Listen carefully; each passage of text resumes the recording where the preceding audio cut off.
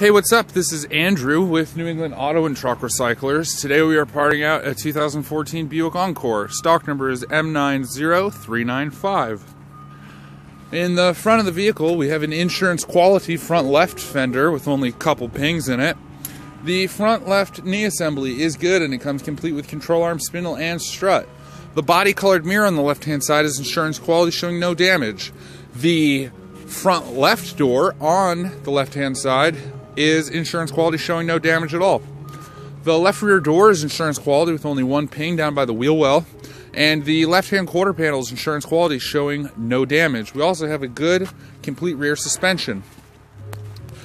In the back here, we've got two good quarter mounted taillights in excellent, perfect condition, as well as a complete rear bumper assembly that is comes with rebar.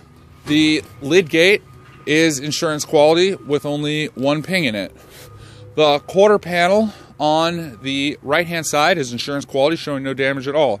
The right rear door is insurance quality with only one ping down by the wheel well there.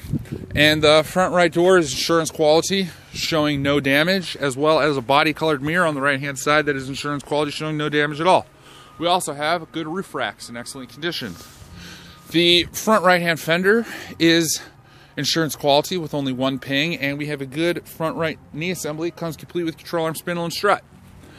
In the front here, we have a good right hand front lamp and a good left hand front lamp in excellent condition. On the inside of the vehicle, we have good trim panels on all four doors, as well as a good master door switch. The leather slash cloth, it is a combination, seats are in excellent, superb condition, and they are electric. The rear seats of this vehicle are the same material, cloth, and leather in excellent condition. We also have a good dash bag, as well as a good glove box assembly.